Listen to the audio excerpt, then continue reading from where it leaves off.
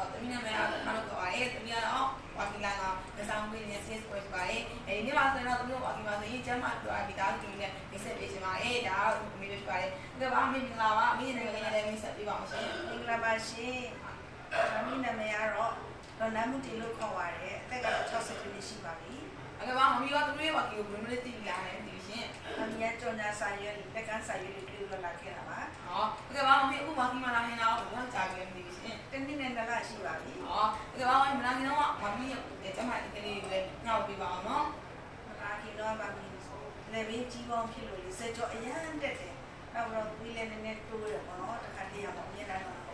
နောက်သွားလာတယ်သိဘူးမပေါ့ပါဘူးနော်ဟောဒီကဘာမှမပြောပါဘူးလာပြီးတော့မင်းလာကြမှာဆိုရင်ကျမတို့တုံးလေးတိတာတယ်ဒီရှင်။နှစ်လလောက်မှကြီးပေါင်းကလုံးဝစက်ကြောမတက်တော့ဘူး။နောက်သွေးလည်းမတိုးတော့ဘူး။သွားလာတာလည်းပေါ့ပါတယ်။ဒီနေ့ကုန်လည်းမမောတော့ဘူးပေါ့ နော်။ဒီကဘာမှအဲမမရောတခြားမိသားစုတွေပေါ့နော်ကျမတို့တက်ပြီးလူမျိုးလေးဆံပေးခြင်းနဲ့လူမျိုးလေးထောက်ပေးခြင်းနဲ့ဒီရှင်ဘာကြီးကိုလာပြီးတော့တကယ်ယောဂပျောက်ကင်းခြင်းနဲ့တကယ်သိချင်တယ်ကိုယ်တိုင်လာမှကိုယ်တိုင်အကျိုးကိုခံစားမှာဖြစ်ပါတယ်အဲဒါကြောင့်လာပြီးတော့ထိုင်လေးကြဖို့အားလုံးကိုဖိတ်ခေါ်ပါတယ်ရှင် I love Waki